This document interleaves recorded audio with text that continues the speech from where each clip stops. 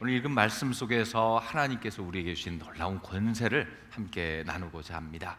바로 우리 입술을 통해서 주신 언어의 권세가 있는 것을 우리 분명히 알고 있는데 그 권세를 어떻게 사용하여 하나님의 영광을 이루어갈 것인가 우리 함께 나누고자 합니다. 아, 우리 자신이 이 세상 살아가면서 많은 적수를 만나고 대적들을 만나게 되는데 그 대적 중에서 가장 큰 적은 외부에 있지 않고 내 안에 있는 것을 우리는 틈틈이 경험합니다. 우리의 가장 큰 적이 바로 나 자신인 경우가 참 많습니다. 가나안의 12명이 정탐을 하러 갔습니다. 하나님 주신 땅을 미리 보러 갔습니다. 근데 그 사람들의 앞을 가로막는 대적이 없었어요. 그 땅을 정탐할 때 그를 방해하는 세력이 별로 없었습니다. 근데 갔다 와서 보고를 할 때 보니까 아, 외적인 적이 그들을 방해한 것이 아니라 그들 자신이 자신을 방해하는 적이었구나라는 걸 깨닫게 되지요. 그들의 자상 때문에 거기에 따라서 그들의 언어가 나왔고 그 언어로 인해서 그들의 앞길이 정해졌습니다. 자신의 언어가 자기의 앞길을 막았고요. 그 말의 뒤에는 자기 자신의 자상, 하나님 향한 믿음, 그들의 정체성 이런 것이 게재되어 있음을 우리는 보게 됩니다. 그래서 이스라엘 백성들이 하나님 주신 땅을 차지할 때 가장 큰 적은 가나안의 토착민도 아니었습니다. 그들 중에 아직 남아 있는 거인 족 속도 아니었습니다. 철병가와 견고한 성도 아니었습니다. 오히려 제일 먼저 자기 자신이란 벽을 넘지 못했고 그로 인해서 싸우기도 전에 미리 좌절을 경험하고 서로 간에 갈등이 있었던 것을 우리는 목격합니다. 그래서 지금도 우리가 생각할 것이 겁니다. 뭔가 문제가 있다, 가로막혔다 생각하면은 그 원인을 자꾸 외부에서 찾으려고 하기보다는 나 자신에게 그 원인이 있지 않나 그것을 확인해 보는 것이 현명하지요. 그 문제를 발견하면 그때부터 가능성이 생깁니다. 해답을 찾고 실천하기 시작하면서 미래가 바뀌고 앞날이 변화되게 되어 있습니다. 자, 엄밀히 따져보면 우리는 못해서 실패하기보단 제대로 하지 못하기 때문에 안 해서 실패하는 경우가 많습니다. 또 실천한다면 한 번만 해서 그렇습니다. 지속적으로 하지 못해서 이루지 못하는 경우가 많습니다. 그리고 모든 것의 단초는 어디에 있습니까? 시작은 나 자신에게 있는 것을 우리는 발견합니다. 오늘 본문에서 찾아볼 수 있는 실패의 가장 큰 외적 원인은 그 언어에 있었고요. 그 언어의 뒤에는 자기 자신의 자상이 있었습니다. 자, 이 언어를 어떻게 변화시키고 우리의 미래를 또 우리 공동체 미래를 바꾸어 갈 것인가? 우리 성경을 통해서 함께 살펴보고자 합니다. 우리 먼저 살펴볼 사실은요. 성경이 말하고 있는 굉장히 중요한 핵심 사상 중에 하나입니다. 바로 언어의 말에 능력이 담긴다는 겁니다. 자, 언어는 그 말을 사용하는 사람이 어떤 사람인지를 말해 줍니다. 처음 보는 사람이 어떤 사람인지를 파악하기 위해서 제일 먼저 주목하는 것은요. 언뜻 눈에 띄는 것은 그 사람의 외모가 눈에 띄고 그 사람의 옷차림이 눈에 띄지만 조그만 인격적인 접촉을 가져보면 그 사람의 언어가 있고 그 속에 그 사람의 됨됨이와 사람됨이 담겨 있는 것을 보게 됩니다. 대화를 나눠보면 대개 파악이 가능합니다. 어떤 철학자는 언어는 그 사람이 존재가 거하는 집이다 그렇게까지 이야기했어요. 예수님도 보면 이 말의 중요성을 분명히 알고 계셨던 것 같습니다.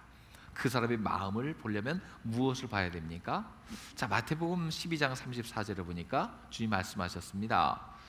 독사의 자식들아 너희 낙하니 어떻게 선한 말 할 수 있느냐?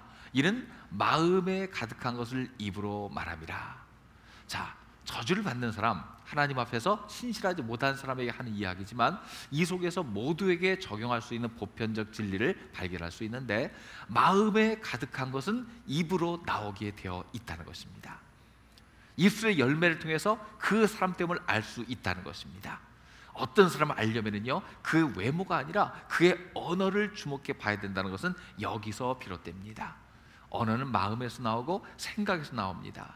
그게 참 중요해요. 그 말을 통해서 그 사람 내용을 파악할 수가 있다는 것이죠. 자 그러면 마음에서 나온 말이 어떤 능력이 있기 때문에 이렇게까지 이야기하고 있는 겁니까? 성경 전체가 말에 대해서 굉장히 많은 부분을 할애해서 이야기해주고 있어요. 자, 먼저 이 언어, 우리의 말은 생명을 좌우하게 되어 있습니다. 잠언 18장 21절에 이런 말씀이 있습니다. 같이 한번 읽어볼까요? 죽고 사는 것이 혀의 힘에 달렸나니 혀를 쓰기 좋아하는 자는 혀의 열매를 먹으리라. 자, 어느 정도까지 이야기합니까? 혀의 힘에 죽고 사는 것이 달려 있다. 그렇게 이야기하고 있습니다. 자, 언어를 심으면 그 언어가 생명이 되어서 열매를 맺는데 죽음의 언어를 심으면 죽음이 나오고 생명의 언어를 심으면 생명이 나올 수 있다는 것입니다. 우리 과거에 그런 것을 경험했죠. 한 연예인이 이 사람 저 사람의 말들, 특별히 인터넷에 떠도는 수많은 비방 댓글을 보고서 죽음에 이른 경우가 있습니다. 물론 이거를 그, 그 보면 그 언어는 다른 여러 여건과 함께 극단적인 선택을 하게 만드는 하나의 원인에 불과하지만 가장 마지막에 방아쇠를 당기는 것이 그 말이었을 가능성이 큽니다. 그를 향한 비난의 말, 조롱의 말, 조소의 말 이런 것들이 연합해서 그 사람을 죽음으로 몰고 갔습니다. 그럼 우리 역으로 생각해 봐서요. 정말로 죽을 일 있는 사람, 어렵고 힘들어서 막 무게 눌려 있는 사람이 있다고 합시다. 그 사람에게 누군가가 말에 폭탄을 쏟아 놓는데 생명의 언어를 막 주입해 준다고 하십시다.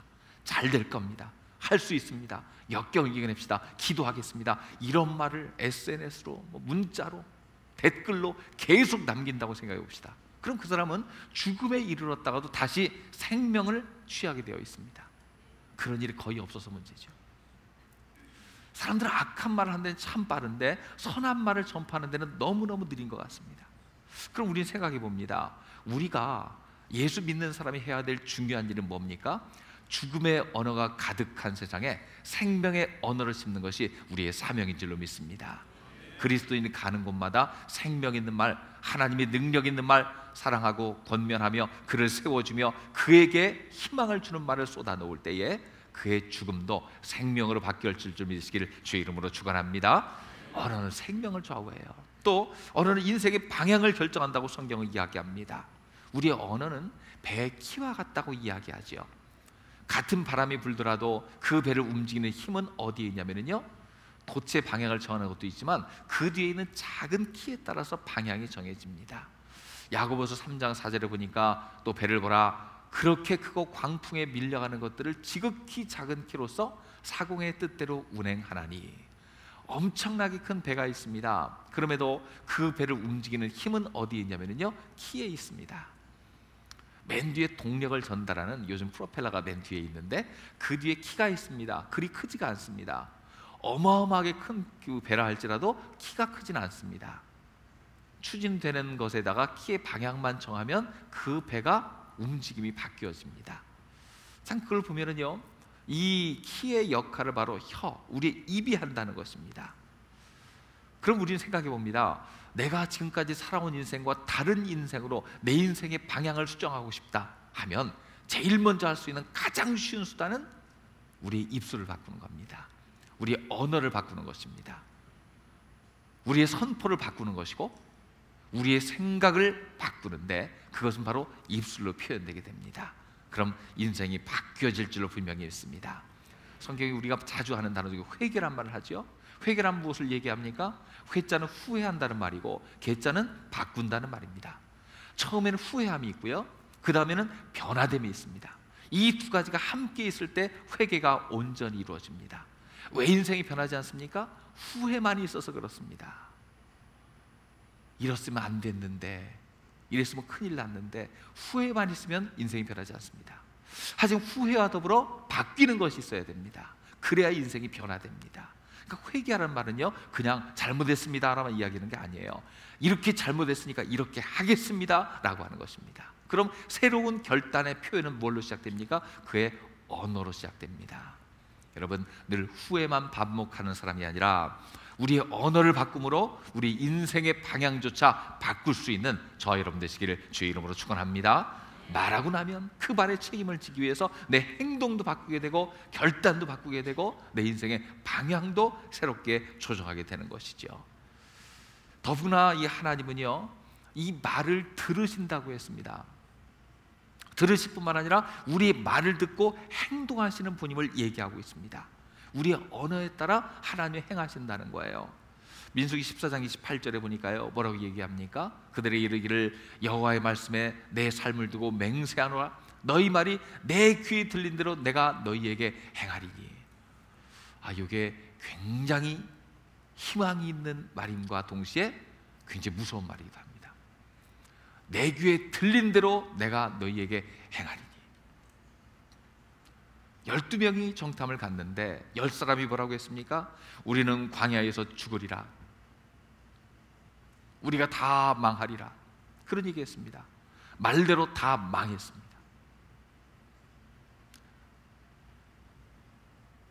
두 사람은 뭐라고 했습니까? 우리는 그 땅을 밟는다. 그들은 우리의 먹이다. 하나님께서 우리에게 주셨다.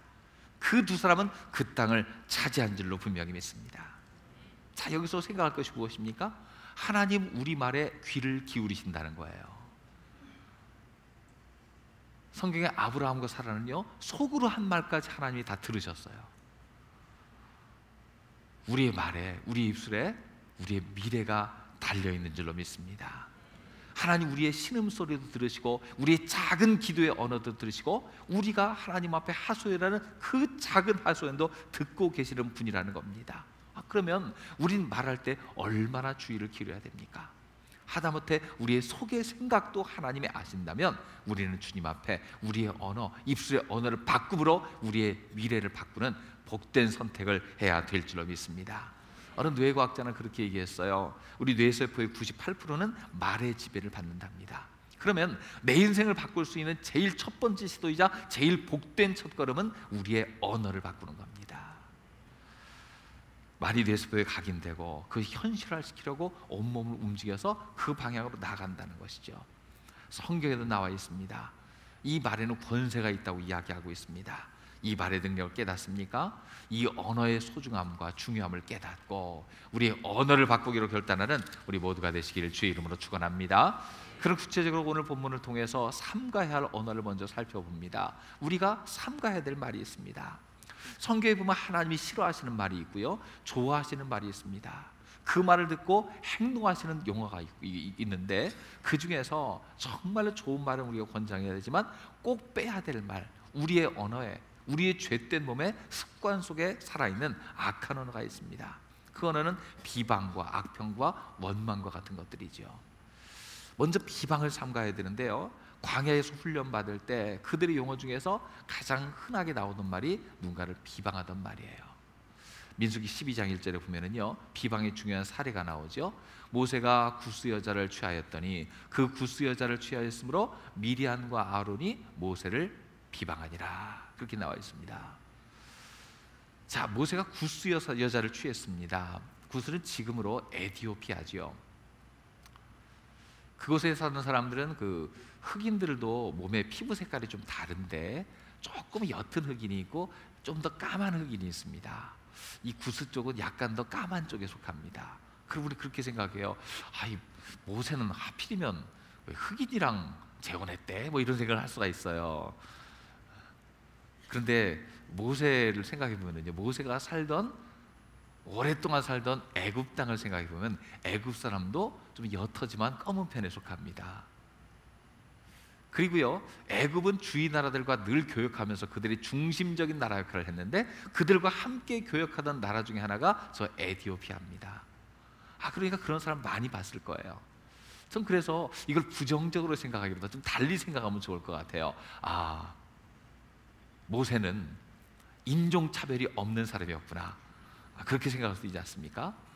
어릴 때부터 국제화돼 가지고요. 아, 차별 없이 아, 그렇게 살아왔구나. 그렇게 생각할 수 있잖아요. 그런데 그것을 빌미 삼아서 모, 미리암과 아론이 모세를 비방합니다. 비방은 어떤 사람에 대한 부정적 생각을 표현하는 것인데 비방합니다. 그런데 잘 보면 이 비방 속에 무엇이 있냐면요. 그것 때문에 그것을 빌미 삼아서 이야기하지만 그들의 마음 속엔 또 다른 것이 있었던 걸 볼 수가 있어요. 나중에 우리가 뭐라고 이야기하면요. 여호와께서 모세와만 말씀하셨느냐? 우리와도 말씀하지 아니하셨느냐? 그러니까 허물 있는 모세가 자기들보다 훨씬 더 높은 지위에서 지도력을 발휘하는 것에 대해서 불만이 있었습니다.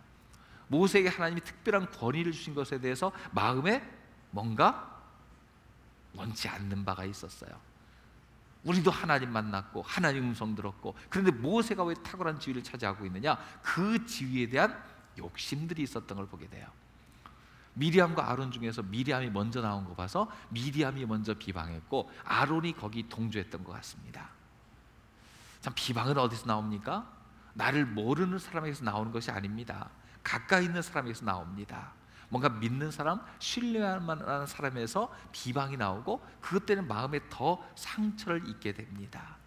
시기와 질투가 틈타서 한순간에 관계를 파괴시키는 경우가 참 많지요. 참 악한 사단마귀는요. 이 리더십을 파괴하기 위해서 가까운 사람을 통해서 그들의 언어를 통해서 낭망하고 관계를 깨뜨리고 그 목적을 파괴시키는 그런 역할을 많이 합니다. 하지만 이 부분에서 이 악한 사단마귀의 싸움을 분명히 이겨야 될 줄로 믿습니다. 가까이 있는 사람에게는요 약점이 보이게 되어 있어요. 부족한 점이 보이게 되어 있어요. 그럼 우리는 생각합니다. 그 약점이 사실일 수 있고요. 부족한 점이 진짜일 수 있어요. 그런데 모든 것을 어떻게 생각이 됩니까? 하나님께서 나에게 그 사람의 약점과 부족함을 보여주신 이유가 어디 있습니까? 그것을 지적해서 비방하고 다른 사람 앞에서 허물을 드러내라고 나에게 보여주셨습니까? 그렇지 않습니다. 그것을 보여주신 이유는 단 한 가지입니다. 그의 약한 점을 내가 보충하라고. 그 부족한 점을 내가 채워주라고 하나님께서 보여주신 줄로 믿습니다. 다른 사람이 부족한 점이 보일 때는요, 꼭 생각할 것이 있습니다. 그것을 보는 눈이 나에게 있다는 것은요, 그 부분을 내가 그 사람보다 더 잘한다는 거예요. 그럼 어떻게 생각하게 됩니까? 아, 저 부분을 내가 채워야 되겠구나. 저 부분을 보충해야 되겠구나. 그래서 저 사람이 성공할 수 있도록 내가 도와줘야 되겠구나. 이렇게 생각하면요, 그 사람도 성공하고 그 앞에 있는 그 사람도 잘 되게 되어 있습니다. 무언가 보일 때에 비방하는 자가 아니라 그를 보충해 주어서 함께 승리하는 저 여러분 되시기를 주의 이름으로 축원합니다. 또 그들은요 이 비방만이 아닙니다. 악평의 언어를 사, 용했습니다 이스라엘 백성들이 사용한 용어가 바로 그런 거죠. 악평이란 무엇입니까? 좋은 것을 나쁘게 평가하는 거예요. 장점도 있지만 단점만 보는 거예요. 민수기 13장 32절 33절 보면은요. 이스라엘 자손 앞에 그 정탐한 땅을 악평하여 이르되 우리가 두루다니며 정탐한 땅은 그 거주민을 삼키는 땅이요 거기서 본 모든 백성은 신장이 장대한 자들이며 거기서 내핀 후손인 안악 자손의 거인들을 보았나니 우리는 스스로 보기에도 메뚜기 같으니 그들이 보기에도 그와 같을 것이니라. 자 여기서 보면은 사실의 용어도 있어요. 그 땅에 거인 족속이 있었다는 거 사실입니다. 그 성은 견고했다는 것 사실입니다. 근데 사실만 본 것이 아니라요. 거기서 무엇을 봤습니까? 그들이 생각하는 다른 것을 봤어요. 그들은 좋은 것도 많이 봤습니다. 실과가 풍성했습니다. 얼마나 풍성했냐면요. 아, 그 실과의 샘플을 갖고 왔는데 어마어마하게 컸어요. 포도송이를 어깨에 짊어지고 올 만큼 아주 풍성했습니다. 근데 그것을만 본 것이 아니라 그곳에 사는 사람들을 향해서 뭐라고 이야기하면 사람을 삼키는 땅이라고 얘기했습니다. 그곳 사는 사, 거인족 속이 있다는 것을 보았습니다. 그뿐 아니라 그들이 대장부이라면 우리는 메뚜기 같다고 표현했습니다. 자, 악평의 특징은 무엇입니까? 과장하는 특징이 있죠. 그것을 얻을 수 없다 생각했을 때에 그 근거를 만들기 위해서 그것을 과장해서 악평하고 있습니다. 사람을 삼킨다는 것입니다. 또 그러다가 그 사람들만 아니라 자기 자신도 악평하고 있습니다. 우리는 메뚜기와 같다는 것입니다. 하나님 주신 좋은 것을 보고 그것을 평가하는 것이 아니라 그 속에 있는 자신의 부족함 때문에 악평하는 모습 이것이 그들에게서 얼마나 문제 있는 말이었는지 모릅니다. 하나님께서 주신 것에 좋은 것을 먼저 보고 감사하는 언어를 사용하면 그들이 형통할 것이지만 불신앙의 모습으로 보고 악평했을 때에 그 땅은 절대로 결코 그들의 것이 될 수가 없었습니다. 이 비방과 악평을 지나 어디로 갑니까? 원망까지 이르러요. 민수기 14장 2절에 보니까 이스라엘 백성들이 다 어떻게 합니까? 모세아를 원망합니다. 온 회중이 그들에게 이르되 우리가 애굽 땅에서 죽었거나 이 광야에서 죽었으면 좋았을 것을 원망을 합니다. 자, 언어의 흐름을 보면 어떻습니까? 비방에서 악평으로, 악평에서 원망으로 더 심한 곳으로 나가죠. 부정적 언어를 시작해서 그 언어를 합리화하기 위해서 더 악한 언어가 사용되는 것을 볼 수 있습니다. 여러분 우리 가운데 이런 용어들이 나오면 어느 순간 내가 왜 이러지 깨닫는 순간 그 순간에 속히 멈추는 지혜가 있으시기를 주의 이름으로 축원합니다. 결국 이 원망과 불평과 비방하다가 어디까지 갑니까? 돌을 들어서 쳐 죽이려고 합니다. 결국 이 악한 영어가 사망까지 이르게 된 것을 보게 돼요. 죄의 삭슨 해서 쭉 어디로 갑니까? 결국 사망까지 이르는 것 아닙니까? 우리 입에서 이 부정적인 언어의 흐름이 있습니까? 여러분 깨닫는 순간 절제만이 아니라 이것을 아예 끊어버리기로 작정하는 저 여러분 되시기를 주의 이름으로 축원합니다. 삼가야 할 언어가 있습니다. 그런가 하면 우리가 사용해야 될 언어가 있지 않습니까? 하나님께서 우리의 입술을 듣고 일하시는데 우리가 하기를 원하시는 말, 하나님께서 듣기를 기뻐하시는 말이 있어요. 그 모임의 대다수는 부정적인 말, 비방, 원망, 뭐 눈물로 그런 말을 했지만 그 중에 소수는 전혀 다른 언어, 긍정과 믿음의 언어를 사용했습니다. 바로 여호수아 갈렙이었죠. 자, 그들의 6장에서 뭐 6절에서 9절까지 쭉 그들의 용어가 나오는데요. 여호수아 갈렙의 말에 특징이 있습니다. 어떤 특징이 돋보이냐면요. 민수기 14장 7절 8절 보면 이스라엘 자손을 온 회중에게 말합니다. 우리가 두루 다니며 정탐한 땅은 심히 아름다운 땅이라.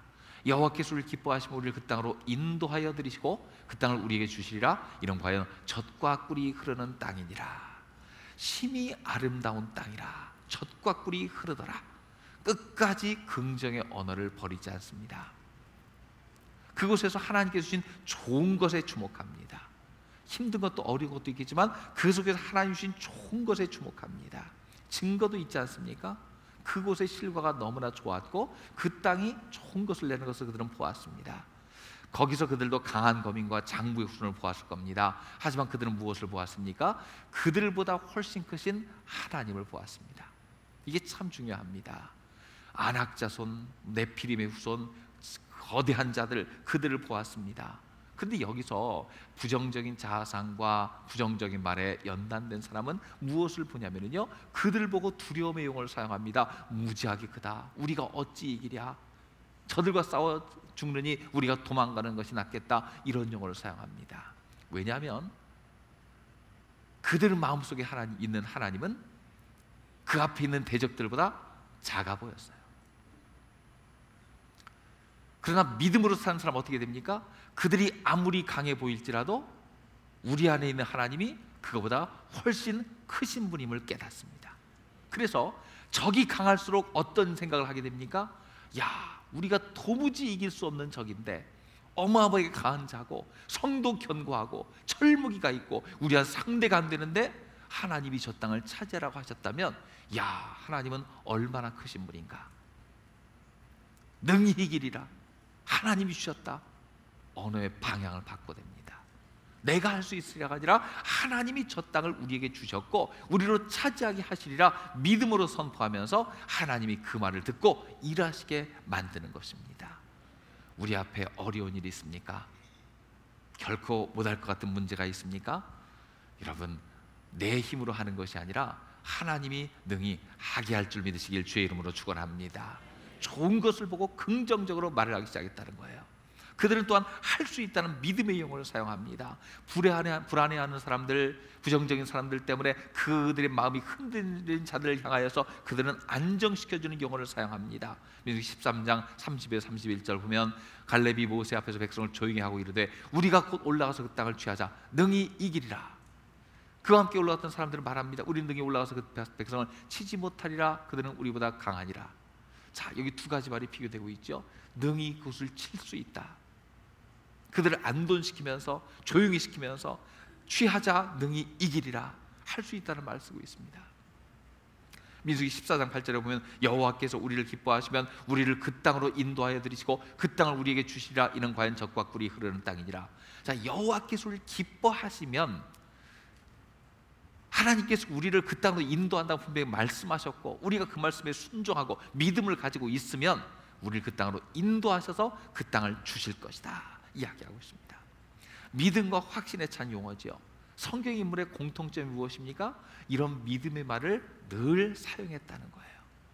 예수님께서 폭풍을 향해 명령하실 때에 주저주저하며 명령하셨겠습니까? 믿음으로 선포하여서 폭풍아 잔잔하라 할 때 그 땅은 잔잔해졌을 줄로 믿습니다. 병마를 향하여서 이 질병아 떠나가라 할 때에 그 질병은 떠나가고 하나님께서 건강을 주셨음을 분명히 믿습니다. 그 앞에 귀신 들린 자가 벌벌 떨며 있어도 그 앞에 뭐라고 얘기합니까? 악한 귀신아 떠나가라 선포할 때에 하나님은 그 악한 귀신을 떠나가게 한 줄로 분명히 믿습니다. 확신에 찬 용어, 능력 있는 용어, 그 속에 하나님께서 분명히 역사하실 줄로 믿습니다. 그러면 우리가 해야 될 일은 당연합니다. 우리 말을 바꿔야 됩니다. 내 힘이 아니라 하나님이 능력이 있으십니다. 대책 없이 낙천적인 사람이 있습니다. 그 사람의 특징은요, 뭐든지 잘 된다는 거예요. 그런데 그 말에 능력이 없습니다. 왜냐면요, 그냥 잘 된다고 버릇처럼 얘기하는 거예요. 그러나 우리는 두려워 떨 수도 있습니다. 안 된다고 생각할 수도 있습니다. 하지만 무엇이 다릅니까? 하나님이 하시면 된다. 하나님을 향한 믿음이 있습니다. 두려움 속에도 확신 있게 말할 때 하나님은 그 입술의 말을 듣고 행하실 줄로 믿으시기 바랍니다. 그래서 우리의 말은요 해보자는 언어가 돼야 돼요. 말은 헌신을 요구하잖아요. 자기 한 말에 책임을 지려고 합니다. 부정적으로 말을 한 사람은요 그 말에 책임을 지기 위해서 계속적으로 부정적이만 안 될 것만 골라서 쏟아놓습니다. 하지만 긍정적으로 한 사람은 어떻습니까? 그 말에 책임을 지기 위해서 기도하고요 하나님 앞에서 결단하고 행동하게 됩니다. 민수기 14장 9절 보세요. 뭐라고 얘기합니까? 다만 여호와를 거역하지 말라. 또 그딴 백성을 두려워하지 말라. 그들은 우리의 먹이라. 그들의 보호자는 그들에게서 떠났고 여기서 분명히 얘기하고 있죠. 두려워하지 말라. 그들은 우리의 밥이라, 우리의 먹이라 얘기하고 있습니다. 이미 싸워서 이길 걸 예상한 거죠. 입술에 권세가 있다면 우리는 늘 우리 입술의 언어를 바꾸는 습관을 가져야 될 줄로 믿습니다. 우린 죄에 빠져 있기 때문에요. 우리 언어 자체가 언제나 약해져 있을 때 본능적으로 부정적인 말이 나오게 돼 있어요. 습관적으로 그렇습니다. 오늘도 아침에 일어날 때에 어제 혹시 무리하신 분은 일어나기 힘드셨을 거예요. 그래서 아침에 일어날 때에 알람 소리 듣고 이렇게 이렇게 일어나면서 꼭 많이들 하는 말이 있어요.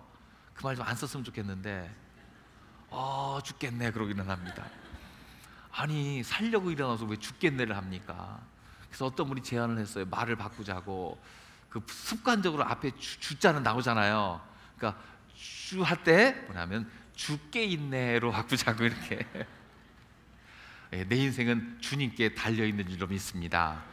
죽겠네 하려면은 말을 살짝 입을 약간 꼬아 가지고요 죽게 있네로 바꾸시기 바랍니다. 아니면 죽자 나면 주여 하면서 일어나도 괜찮습니다. 자꾸만 말을 이렇게 그 부정적으로 생각하는 사람들이 있어요. 아, 저는 우리 교회가 있는 동네 이름이 참 좋습니다. 불로동. 성경에 나오잖아요. 불로 불로. 찬송 나오냐 불로 불로 충만하게 앞서서 얼마나 좋은지 모릅니다. 우린 참 좋은 곳에 교회를 세운 줄로 믿으시기 바랍니다.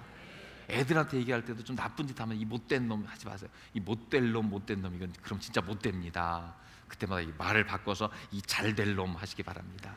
현재는 못된 짓을 하고 있지만 나한테 훈계를 받아서 잘 될 놈, 이 미래를 바꾸시기 바랍니다. 우리 용어가 바뀌면 그 아이가 바뀌어요.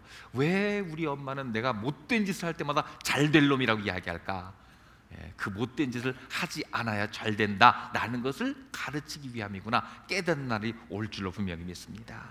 우리 언어가 바뀌면은요 아이의 미래가 바뀝니다. 우리 언어가 바뀌면 우리 인생이 바뀌어집니다. 성경에 뭐라고 권면합니까? 빌립보 4장 6절 7절에 권면합니다. 같이 읽습니다. 아무것도 염려하지 말고 다만 모든 일에 기도와 간구로 너희 구할 것을 감사함으로 하나님께 아뢰라. 그리하면 모든 지각에 뛰어난 하나님의 평강이 그리스도 예수 안에서 너희 마음과 생각을 지키시리라. 염려되는 일이 있을 때마다 하나님 앞에 간구하시기 바랍니다. 그 용어를 기도로 바꾸시기 바랍니다. 안 될 일이 있을 때마다 하나님 앞에 이야기하고 구하면 내게 능력 주신 자 안에서 모든 것이 되는 역사가 일어날 줄로 분명히 믿습니다. 이미 주실 줄 믿고 감사함으로 하나님께 아뢰을 때에 하나님께서 미리 감사를 받으셔서 그 일이 속히 이루어질도록 역사하실 줄로 분명히 믿습니다. 나의 언어는 어떻습니까? 하나님이 이미 주셨는데 나에게 반드시 축복하리라 약속하셨는데 그 축복을 믿지 못하고 있다면 지금부터 나의 입술을 바꿈으로써 하나님께서 이루실 일에 대해서 미리 선포하시고 감사함으로 그 일을 이루어 가시는 우리 모두가 되시기를 주의 이름으로 축원합니다.